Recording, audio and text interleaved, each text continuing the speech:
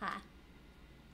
These words came up in a discussion I was having on Facebook the other day, so I thought I'd talk about them along with these. Into, of course, means movement in the direction of someone and some or something, and you actually make contact.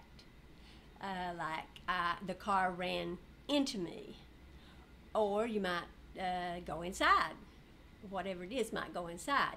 Um, I went into the house. So either you make contact or you go inside. And into is a preposition, it has to have an object. You can't just say, I went into. You have to say, I went into whatever it is. Now, into, it's not really a not really a construction. It's just two words that happen to be together. It could be not now or, or anything. I'm just talking about them to show you that you don't always put in two just because you hear into. Um, this would be uh, I went in. You could just say I went in. But if you say in to, you, you might say I went in to get a drink of water.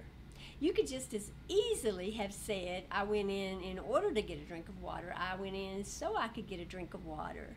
I went in because I needed a drink of water. Now, onto is um, on the surface, or it could be you're, you're boarding something. I went onto the boat, onto the plane, um, or you could say, I climbed on to the table, I climbed onto the roof, I fell onto the bed.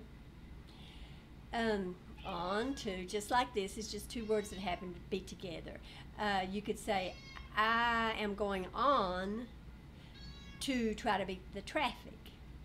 And again, you could say, I'm going on because I want to beat the traffic. I'm going on in order to beat the traffic. I'm going on so I can beat the traffic. So just remember the into and onto are prepositions. They have to have an object. And so when you're saying you're going into something or you're onto something, then these are the words you use.